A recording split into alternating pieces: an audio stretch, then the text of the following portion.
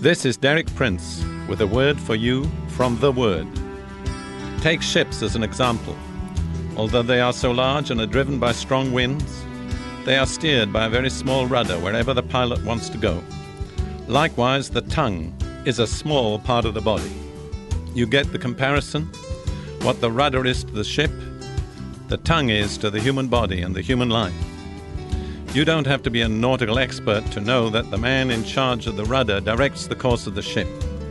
If the right man is in charge of the rudder, the ship will make a safe journey and arrive safely in harbor. But if the wrong man is in charge of the rudder and doesn't know what he's doing, the ship is likely to be wrecked. And that's how it is in your life and in mine. If the right force is in control of our tongues, we'll make a successful journey through life and arrive at our destination safely. But if the wrong force is in control of our tongues, we're likely to make shipwreck. So remember, the way you use your tongue is going to determine the course of your life.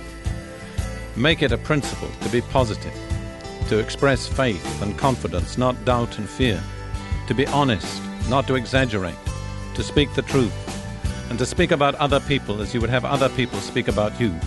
Because words are also seeds, and if you sow bitter, critical words, you'll reap them back in due course multiplied in your own life. So remember, be careful how you use that rudder that directs your ship, the rudder that's your tongue. Ask God for His help to use your tongue aright.